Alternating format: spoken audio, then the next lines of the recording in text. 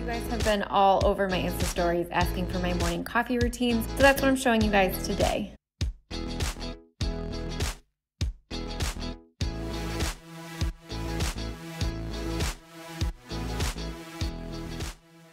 So I always start with an apple cider vinegar shot, so I figured I'd just show that to you guys too. I do two capfuls of ACV. This is the From the Mother Bragg's Natural Everybody uses this one. I do two capfuls of that. I do some fresh organic ground ginger. It's a little bit spicy and it's really good for digestion and inflammation. So I like to put a little bit and I think it cuts the burn a little bit too. It makes it not taste as bad. And then I dilute it with water and just take it like a shot and then chug water after to wash it down. So this is my little coffee prep area. Everything will be linked down below in the description bar on YouTube that can be. So these are my two mugs you can find on sarahordo.com. Today I decided to go for the slightly larger, so we went for the sober as fuck mug today. And then I use a regular organic coffee I get at my local Sam's Club. And then you're just seeing I'm pouring some water in. I don't use Keurigs because I've heard they produce mold and it just really freaks me out. So this is the collagen you guys see all the time. You know I'm obsessed with it. I do just under a scoop of it in my morning coffee. It helps with hair, skin, nails. It just helps so many things. It's amazing. I see such a difference when I don't use it. My hair is better, my skin looks better, my nails are stronger, so I do it daily in my coffee.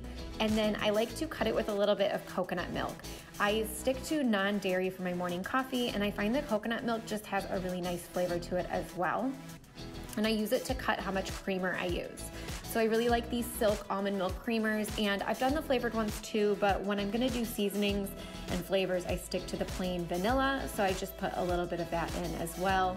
These are the Flavor God seasonings I am obsessed with. I love the buttery cinnamon roll, but today I am going with the chocolate donut. These are all natural, no preservatives, all good ingredients in them. So I sprinkle a little bit in, and then this is my milk frother.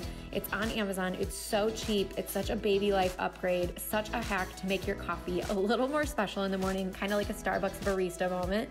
So you're just going to froth, and it's gonna make that milk and creamer almost like a whipped cream, thick, frothy consistency similar to what you would get at a coffee shop, and I am truly obsessed with it.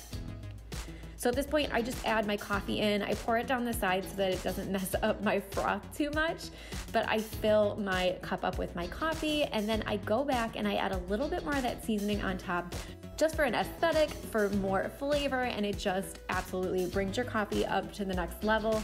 I think it's so important, especially if you work from home, to give yourself these baby life upgrades, these little treats, make things a little bit more special on a daily basis to just make your life your best life on a day to day basis, even in your morning routine.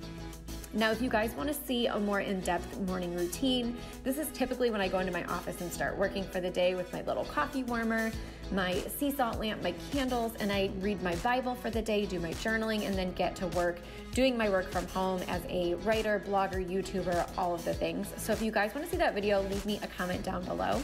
But I hope you guys enjoyed this sneak peek into my morning routine. Make sure you give it a thumbs up and subscribe to my channel if you are not already so you don't miss my next video.